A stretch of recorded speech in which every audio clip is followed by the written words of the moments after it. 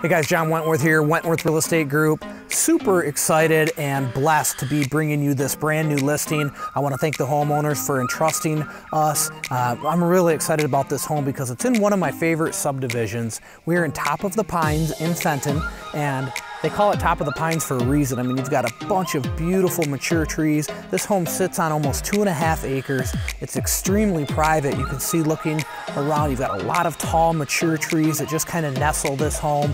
And this is a beautiful home. I mean, this is a four bed, six bath.